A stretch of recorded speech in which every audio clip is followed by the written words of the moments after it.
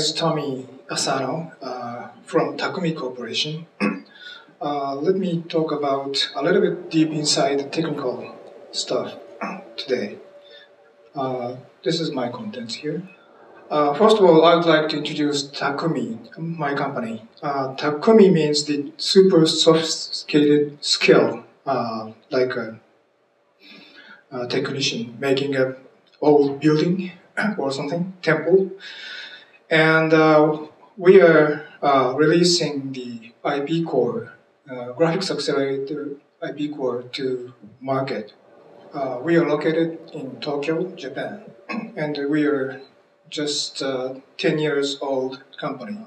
The Khronos Graphics Standard API is uh, beneficial, of course, and a lot of people have an option to select the best development environment, like a, uh, directly using uh, OpenVG API or using the middleware, like a uh, GUI engine, Flash, uh, SVG.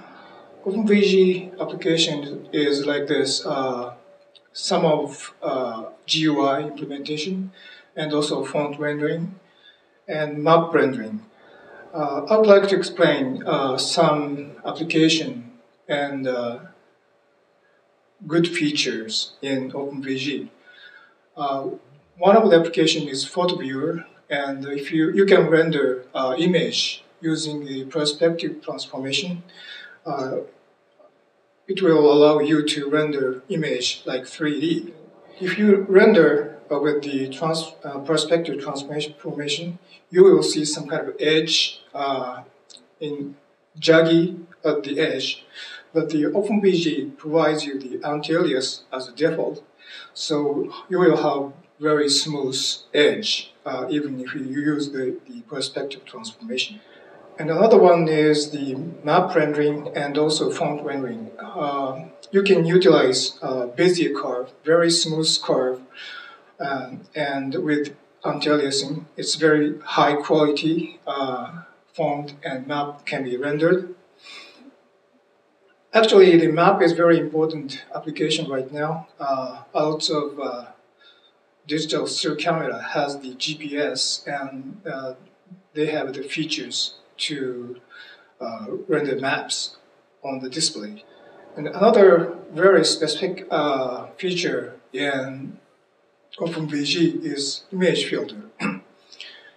uh, you can easily have the blur effect uh, to the image rendering. And this is kind of an experimental uh, result. And, and left-hand side, most left-hand side image is original image, and you can add some blur with the uh, bilinear filter, adjust just shrink the image first and enlarge with the bilinear filter, you will have some kind of blur. But, it's, but it, it is not enough. Uh, right hand side 3 image is using the uh, image filter with the OpenVG. Uh, you can select uh, the standard deviation number to how, how much you have uh, blur. And you can, you know, once shrink the image and apply the image filter and, and enlarge that, you will have better performance and better blur, I think. You know, understanding architecture is very important to use uh, OpenVG. Uh, Khronos provides common API. Uh, uh, as uh, Tom Olson uh, mentioned that there are some difficulty in common API. However, uh, it's, uh, it's a common to use. Uh, the implementation are different one by one. There are lots of uh, variety of implementation exists in the market, and uh, if you would like to improve your performance, then you would like you you need to understand architecture. I mean that the character or nature of the device you use, and also understand where is the bottleneck uh, it depends on applications you, you make. And also, uh, it's better to understand what is happening in API and inside the hardware. Uh, let me go through uh, pipeline. Uh, as uh, maybe this is covered by uh, Huan, Dr. Lee. Uh, there's eight stages, and we left hand side is eight stages, and we implement these eight stages in hardware. this is just an example. it's a Takumi uh, implementation. However, we have a full hardware implementation. And of course, there is a software implementation like uh, Huan does. All the uh, processing is done by CPU. And also there is uh, implementation and half and half. And also there is implementation on top of 3D hardware. In this case, uh, usually you need uh, triangle tessellation. You have to divide the shape to triangle. It's, it's, it's usually heavy operation. Another thing uh, you, you need to understand by the uh, you need to understand about pipeline is pipeline has the deep uh, steps in the hardware, uh, maybe hundreds of hundreds of uh, stages inside the hardware. It means that if you would like to stop the hardware, uh, the hardware need to operate, you know, hundred, hundreds of commands to make a final pixel on the color buffer. Critical things in the uh, in the market and requirements is the uh, one is the minimized CPU load. Um, there is a high-end market, and in the high-end market, the CPU is like a 1.5 gigahertz and dual core or uh, quad core. It's very high, high-end and uh, high speed. However, uh, low-end market uses just only the 200 megahertz CPU and uh, without FPU. It's it has a very limited CPU power. And also, uh, in the embedded market, uh, the memory is very limited. Uh, the memory transaction uh, performance is very low, and memory size could be low. Another thing is uh, we have to minimize LSI footprint, it, but it is a, a hardware requirement. So uh, we Takumi uh, make a very small uh, LSI, I mean the logic to implement OpenVG. However, you, need, you need to understand and you need to care about two other things. And I'd like to talk about uh, programming tips. It's kind of a general programming tips. So you have to think uh, your uh, hardware uh, by yourself and uh, you have to consider your own uh, issues. However, I would like to go through uh, general tips here. Basic thing is keep object number in small. There are, there are lots of object is created in, in program and you, you need to be shared the object need to be shared as, as much as possible and uh, delete unnecessary object and, and it, it reduces malloc cost and error check cost and also it is better to avoid unnecessary VG set and VG uh, set parameters. It, it's setting the kind of a state, um, but uh, sometimes uh, same parameter is set over and over. And it is better to uh, minimize matrix uh, update. Um, it is, you can say that calculate mat matrix uh, to the API, but uh, it is better to pre-calculate if you can and set that matrix um, using the VG load matrix. And also, uh, you need to minimize floating calculation by CPU because there, if uh, there is no uh, FPU in low-end market CPU.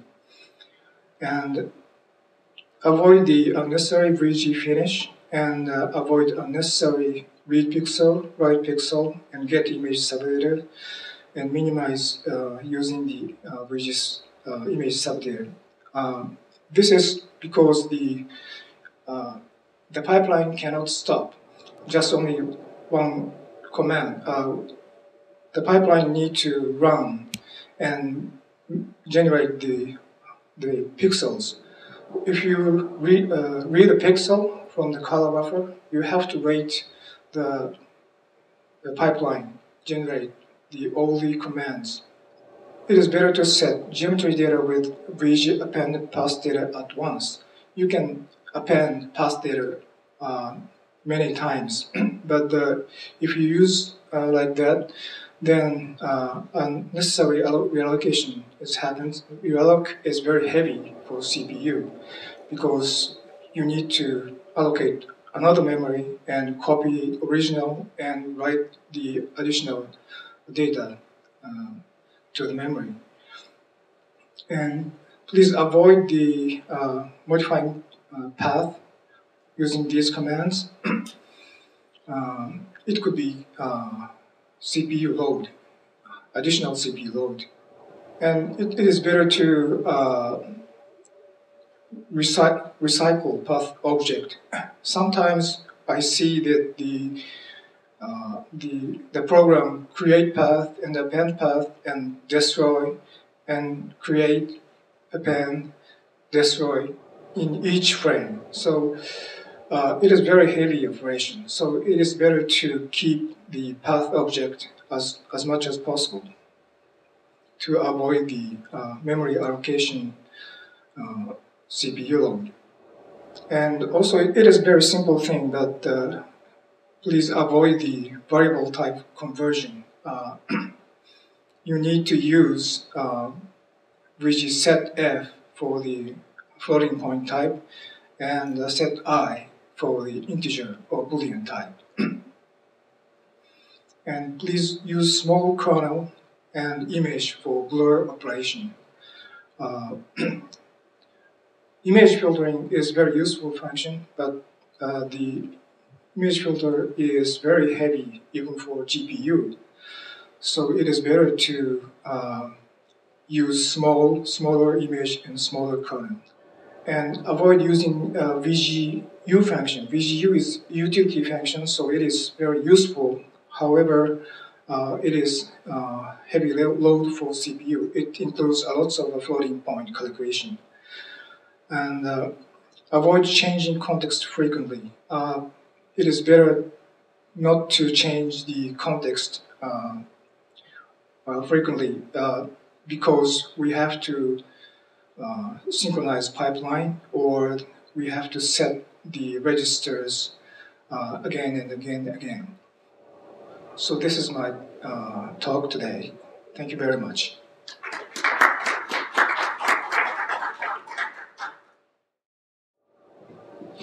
Okay, my name is Erik Noreke. I'm the chair of the OpenMax AL and OpenSL ES working groups. And one of the things when we look at today's consumer requirements when they buy products is they, they're really looking for multimedia, for, um, for uh, the user experience, an enhanced user experience. And they're looking for availability of third-party uh, applications. And the great thing about being a developer uh, especially a young developer today, is the fact that this is a $35 billion US dollar market worldwide at, by 2014. So it gives you great potential for, um, for jobs in the future in the game programming market. So when we look at what we give, what application developers need to, to um, get into the game programming market or uh, user applications, is you, you're looking for ease of use, something that's easy to use to program. You need a good feature set. You need consistent APIs, APIs that work the same way on every single device. And you want to be able to port your um, applications from as many devices as possible. So if you write for if you write for an HTC phone and you, you want it to run on a ZTE phone uh, without having to do any kind of porting work. And Khronos developed OpenMax AL and OpenSLES um, to solve this problem. They're APIs as opposed to an open source framework. An open source framework, uh, there's quite a few out there. There's OpenCore, GStreamer, and OpenAL, for instance. They, it's a, um, allows anybody to import the source code into their device. But when they do that, they modify the source code to, to port it. So as a programmer, you never know exactly how it's going to work on one device to the next. With a standardized API, you, you provide a contract between the application developer and the device. You say, every time I make this function call, this is what's going to happen. And it's, it's a, really, that's where the biggest difference for you as an application developer is between working against an open source framework or a standardized API. With an API, we don't dictate anything about how it's going to be implemented, whereas the open source framework gives you the implementation and you adapt it as you see fit. So OpenSLES and OpenMax AL provide an application access layer. This is the um, access for application developers. In the past, when you've developed applications on mobile devices, you had to go to the low-level um, APIs for uh, access to multimedia functionality and audio functionality. And while powerful, it takes a lot of work to get to deal with them. They're complex, so that you have to spend a lot of time trying to figure out how to set up the multimedia chains, the, the underlying chains. You want to, as an application developer, you really want to spend your time developing your application and not spend a lot of time trying to figure out how the subsystem works. And that, that's what we did when we designed OpenMax AL and OpenSLES. They're simple to use, high-level multimedia APIs for uh, playback and recording use cases. But we throw in the uh, ability to hardware accelerate the functionality, and um, you have cross-platform portability. So OpenMax AL is the API that focuses on streaming media. Uh, it's media playback, media recording. You can um, give it a URL to hook up to a remote server to receive data. You can have the application feed it the streaming data, and it will send it through the uh, multimedia chain to render it to uh, the, um, the native screen or the native speakers. It gives you a full range of video effects. It also gives you um, availability to camera input, for instance, microphone, and so forth. OpenMax AL is really designed as a complete feature set for uh, multimedia to handle streaming media. You can think of it as this is what you're going to be using if you're building a YouTube-like application. Uh, you want to build a camera application. That's what um, OpenMax AL is for. OpenSLES is the audio side. OpenSLES and OpenMax AL, they both have common functionality for playing audio. So if you just want to play a simple audio file, you can use OpenMax AL or you can use OpenSLES. But when you get into the advanced audio functionality, that's really when you want to get into OpenSLES. Uh, if, you, if you're looking to get into 3D effects such as Doppler, virtualization, uh, equalizers, and such, that's what uh, you're going to get into on the OpenSLES side.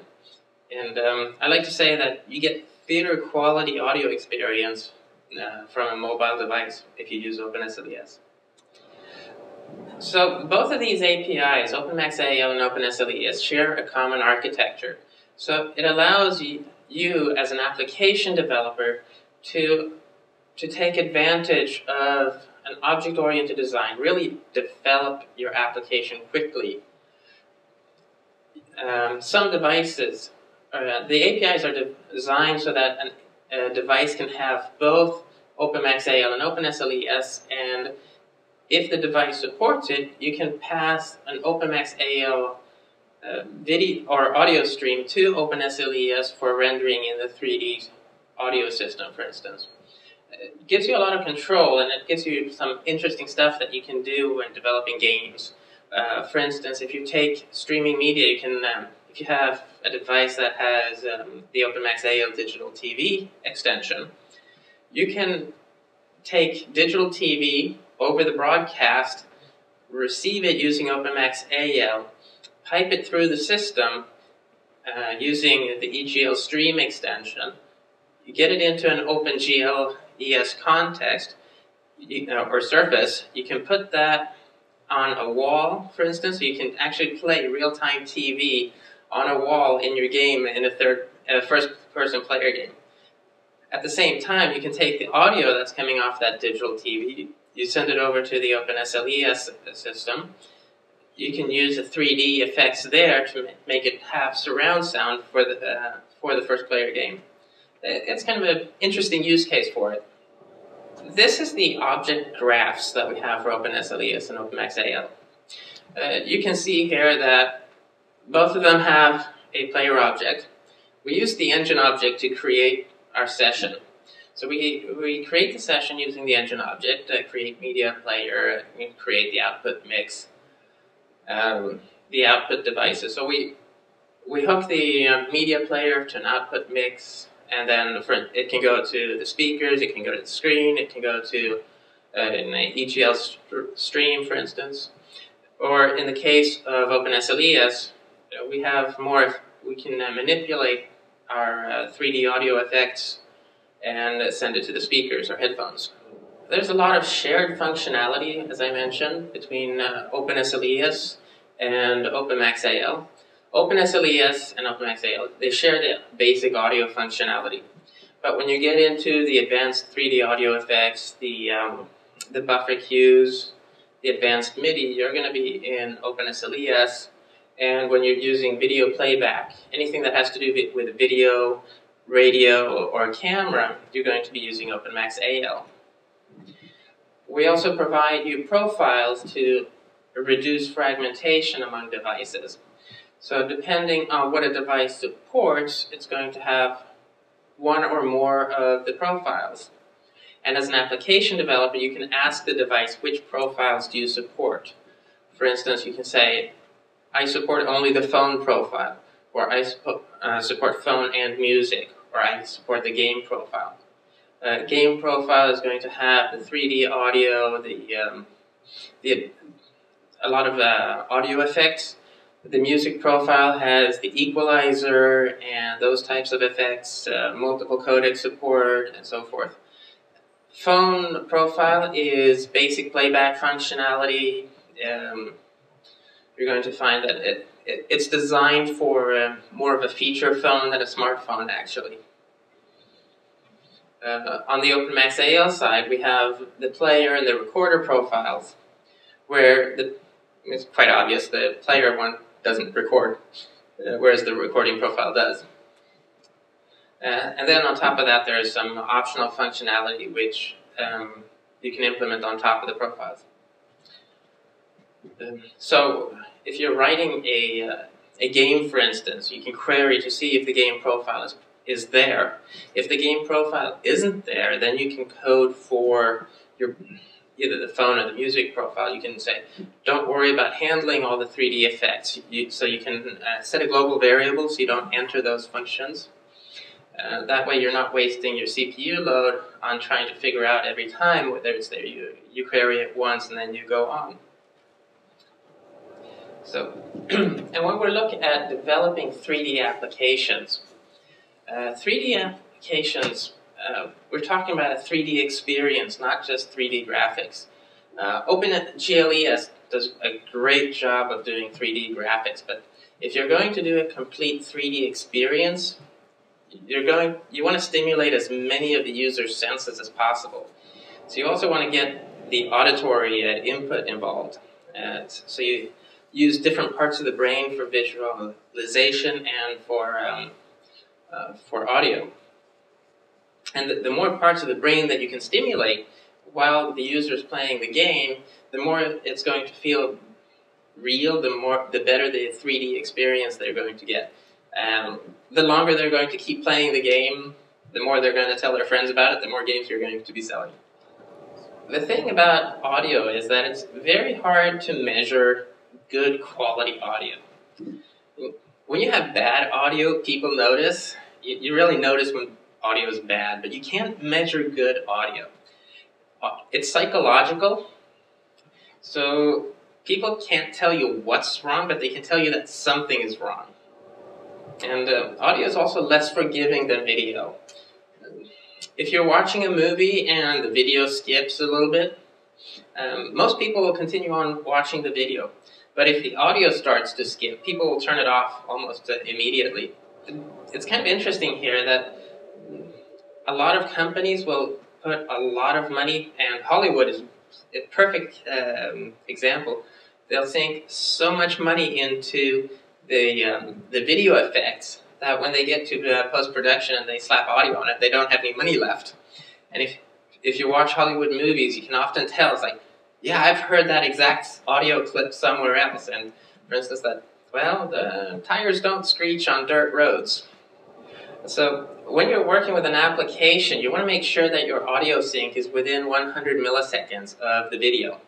When they get out of sync more than 100 milliseconds, uh, that's when you notice that the, the lips aren't moving right to the audio.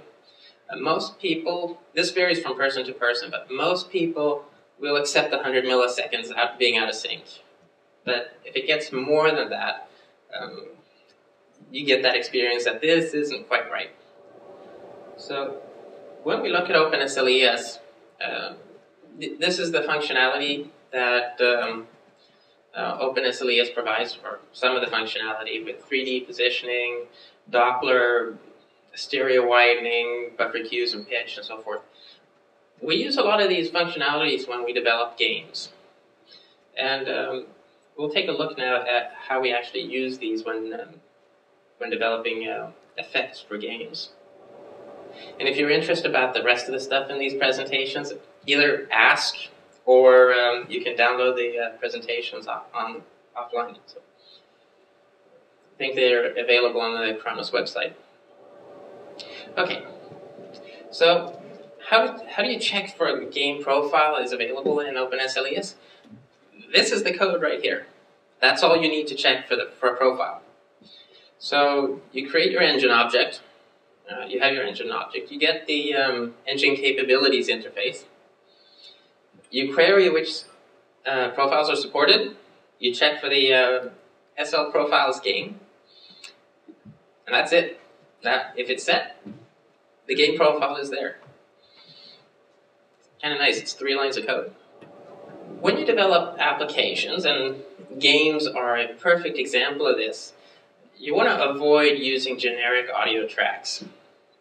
A lot of times, and You'll notice this in, in uh, Hollywood movies, you'll notice this in a lot of games, that people tend to use the same audio tracks over and over.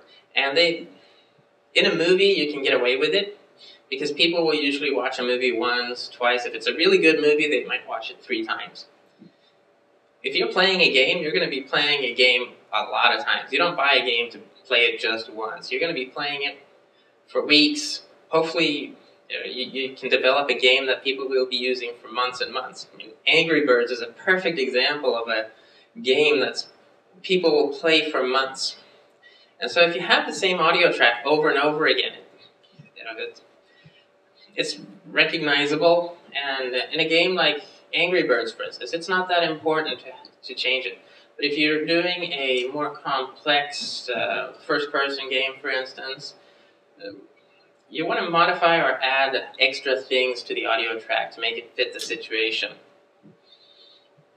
And um, when you're working with 3D games, you really want to match the audio to the scene to enhance the 3D perception. Um, you, you want to make sure that you know that it really not only looks 3D, it sounds 3D, that the sound matches up with what's really happening.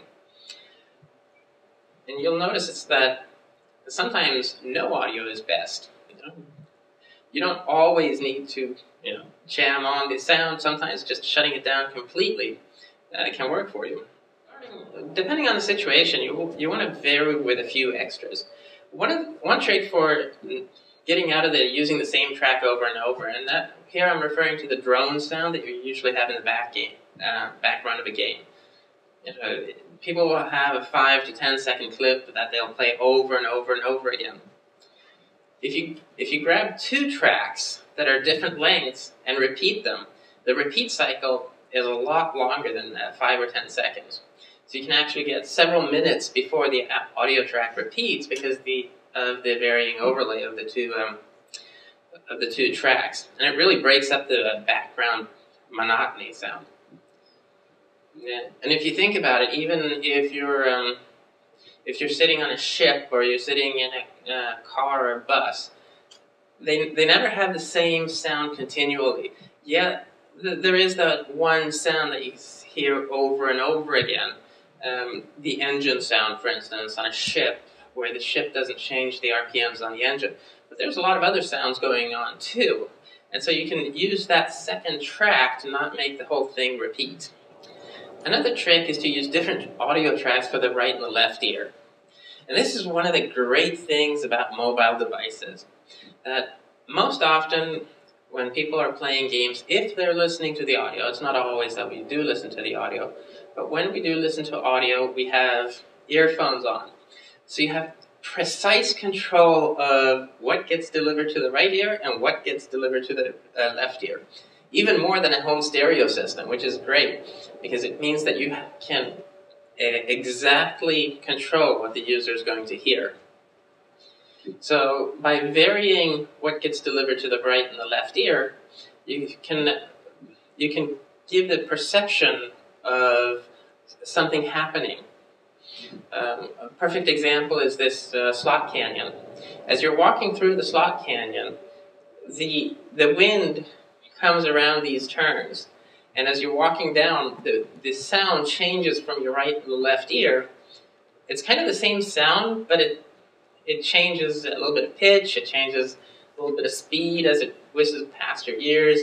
The echo is a little bit different from the right to the left.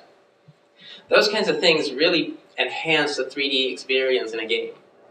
Here's an interesting thing that you can do. Um, for instance, if you're uh, in a uh, first player game and it's the equalizer of death.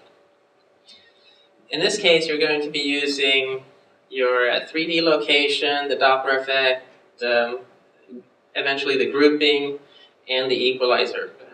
As the, um, the player's health starts getting low, you want to cut the treble. This will lower the clarity so that the sound doesn't, isn't all that clear. And uh, if you can think of it as kind of disorienting. If you can't hear precisely where things are coming from, it's a little bit disoriented, and it's kind of the feeling you get when, if you think about it, if you have high fever, you're not feeling well, or you're uh, right before you're um, you're going to pass out, and your vision gets blurred, and your audio perception isn't there anymore. So by um, cutting the treble and applying a low pass filter, you get this uh, the audio effect that the person is dying.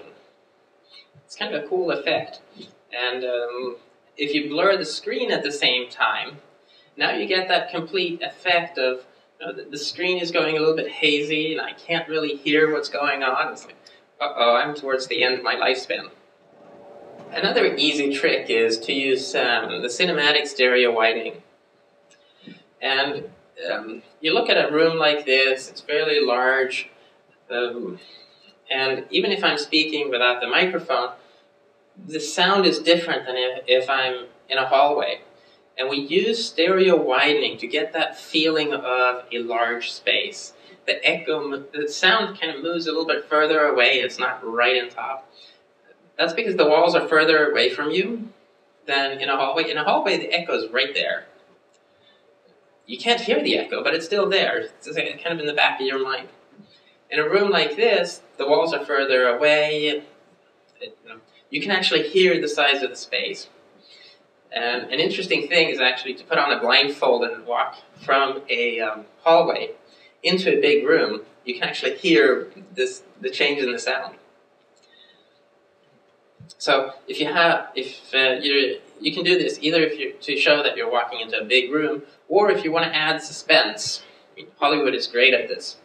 You know, when when they want to emphasize a scene, they they put on the big sound, the wide sound. So that's the stereo widening. And you, you do this with the environmental reverb and the equalizer together. So that uh, you change where the reverb is coming from, and uh, you change the equalizer to uh, create the effect of stereo widening. Everybody loves explosions. Um, to create a bigger explosion, the, the perception of a big explosion, you can apply a bass boost effect to enhance the ex- explosion's boom. And uh, the bass boost is different than just increasing the bass. Increasing the bass just um, adds a, little more more uh, energy to it. The bass boost actually helps give you the effect that the sound is engulfing at the same time that it raises the bass. Um, and right after that, you want to apply a low pass filter for a short time. This kind of gives you the effect that there's a loud boom, and then your ears are kind of dizzy, you can't really hear right, so you're a little bit disoriented. Uh, as the inner ear uh, gets shaken by that boom, you, you can't, you lose a little bit of, um, of, uh, of your audio sense, of, of your hearing, but you also get a little bit disoriented and you're um, um, you get a little bit off balance. And by applying a low pass filter, you can get that effect to the player. Then there are the noises that tend to engulf us, uh, the engulfing sounds.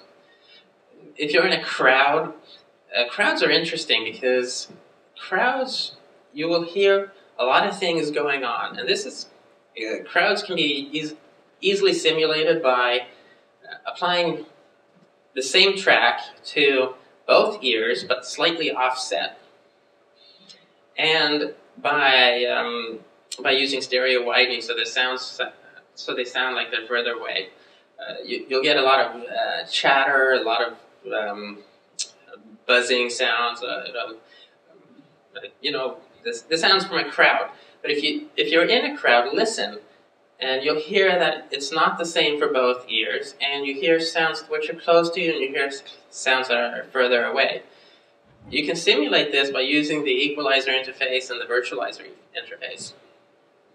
The same thing is true for uh, weather, for instance, the wind. Wind both comes close and it comes from far away. Uh, it, uh, rain tends to engulf you. It's both here and there.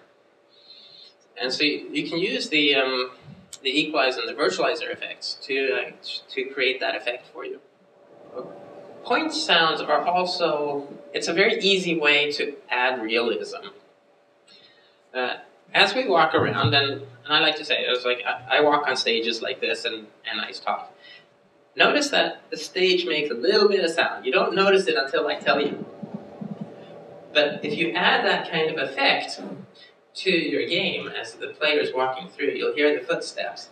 That's a point sound, and it adds realism to the scene.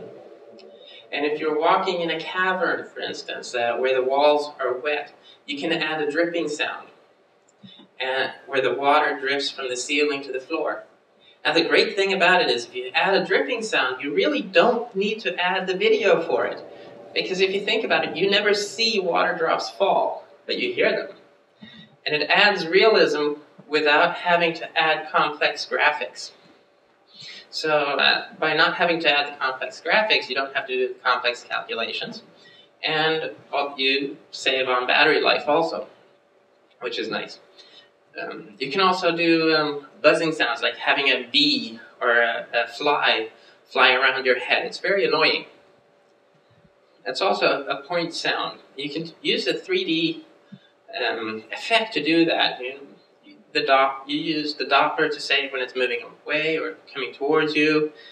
Uh, the, you put the location so the sound is at a very specific location. You can group a couple of them together to make it. But you never see the you never seem to see the insects as they fly around your head. But it's really annoying, and you can really distract the player by doing this. And because you have such great control over the ear, uh, the sound that the ear gets, you can add these effects and it really sounds real. You can actually, uh, with headphones or uh, earphones, you can actually put sounds inside somebody's head. so you can actually make it so it sounds like the fly is flying around inside your head. And um, if you yeah, if you get into this and you try these effects, um, it's a great thing to try on your colleagues. Actually, is to to uh, put a headphones on them and, and program a negative distance in so that the, the distance is inside your head, and uh, see the reaction you get from. The other thing that you'll notice if you use point sounds, uh, you can have them listen to a music track, for instance, and in the music track, uh, you can add a point sign behind them, and you'll see that most people will actually turn around and look, even though it's coming through your headphones. Now, the shotgun is a classic. And ever since John Wayne rode into the West, and even before then, we had uh, Roy Rogers and um, others that rode into the West. But John Wayne really made this um, weapon a, a classic. And it's everybody's favorite weapon. And the reason why is it it goes boom. It has that big, grand feeling of being out in the Wild West. You have the mountains off in the distance, you're riding on the plains, and the gun just goes boom. You get the reverb effect. Um, so you get that echo, the boom.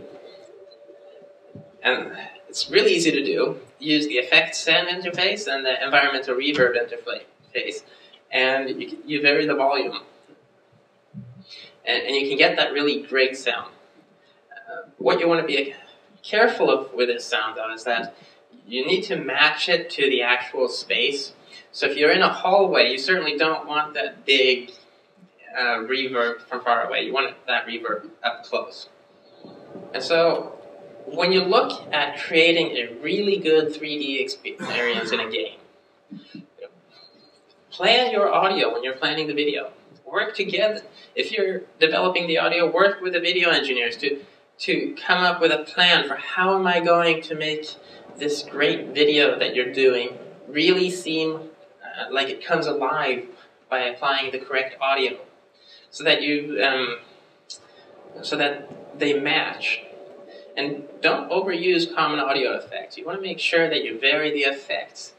Um, take a little bit of effort to find out exactly uh, what you would expect in that situation you want to make sure you stimulate as much of the brain as possible through by combining sounds, by um, really sitting down with the, as an entire development team and, and develop the, uh, the storyboard. Another thing that's important to do is to experiment. Try to figure out how does sounds really sound in the real world.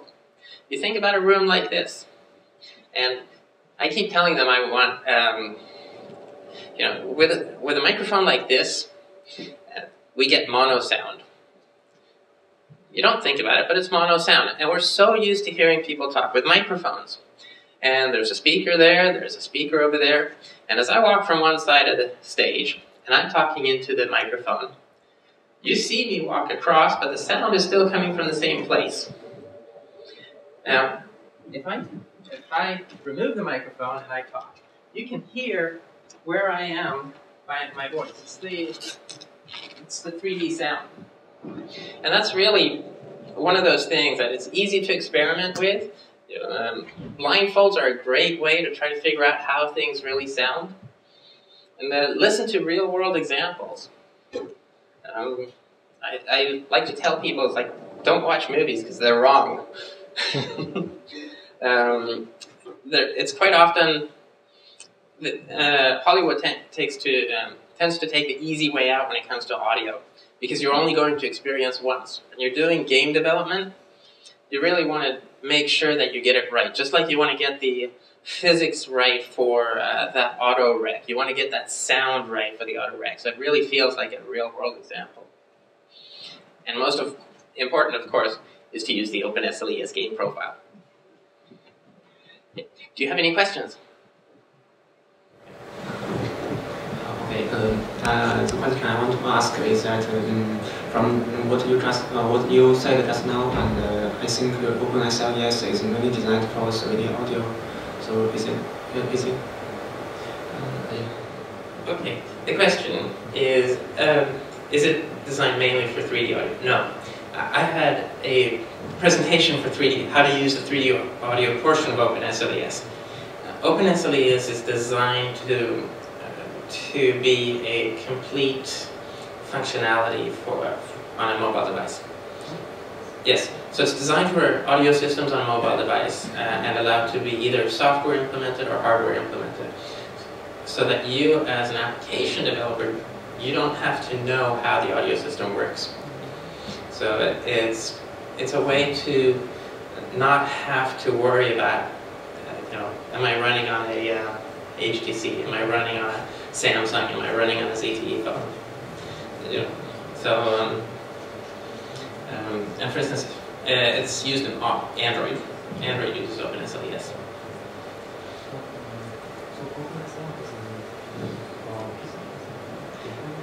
Uh, right now, the, um, for uh, the PC, uh, there really isn't anything OpenSL ES.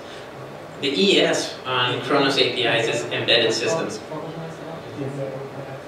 There is not an OpenSL. The plan was originally to have an OpenSL, uh, but we never had enough members that really wanted to see it. And that's the key, is that um, uh, we don't develop standards or APIs just because we feel like it. There has to be a business need for it. And there hasn't been a business need for OpenSL for the desktop. Um, most of them, see, if we look at the PC market, the PC market hasn't been as fragmented as the mobile market. So um, you have the Mac, uh, Apple products that use OpenAL. The PC products have the, the native Windows system. So that if you're developing games for desktop systems, you can target either Macs or, um, or the PCs.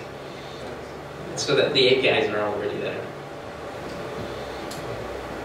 Yeah. Is, is there any system like uh, in graphics, we have system to build uh, build 3D model, and is there any system to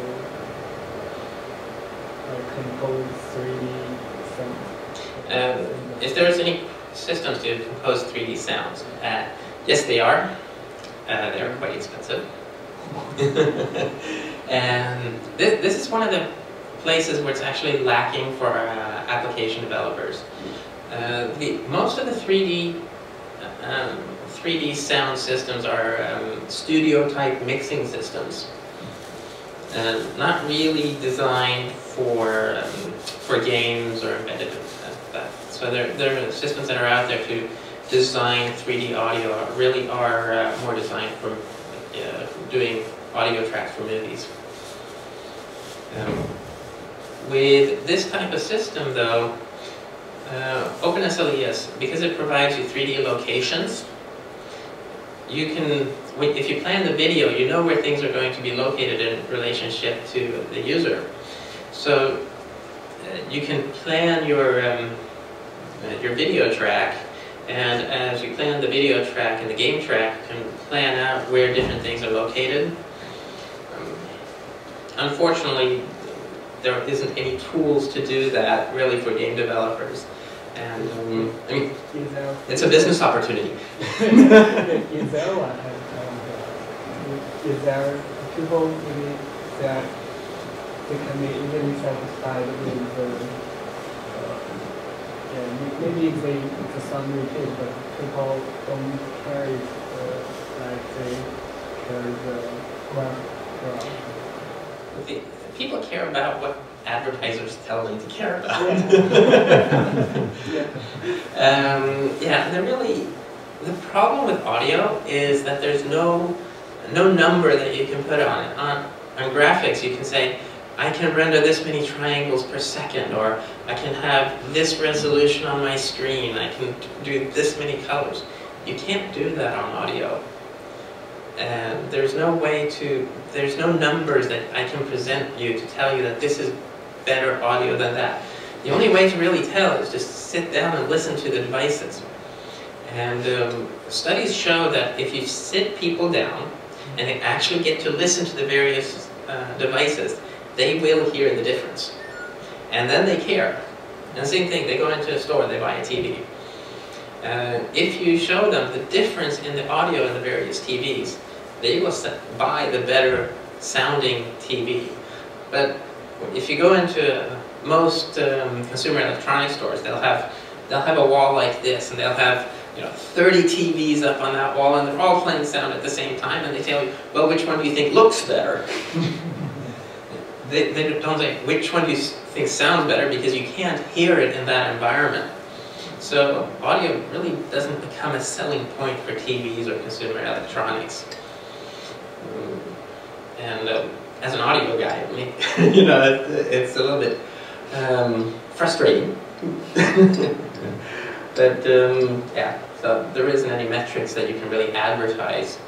Uh, sometimes they will advertise high quality audio by this manufacturer or by this manufacturer. There's companies out there that do provide fully compliant OpenSL ES solutions for inclusion in uh, mobile phones, for instance. Um, so if you look for one of those systems, uh, then in the phones, like, and if you listen to them, some of the really high-end uh, Samsung phones have a good sound. Some of the high-end, uh, well, generally the high-end phones have better sound than the lower-end phones. But it's it's one of those things as um, as a consumer, it's hard to look for good quality audio. It and because uh, the salespeople don't know how to sell it. The, the people who show the products to you, and um, they'll tell, yeah, this one sounds okay. Well, what's okay sound? At the same time, they'll tell you, yeah, this one can draw, you know, three million triangles per second and have have a, a SVGA resolution.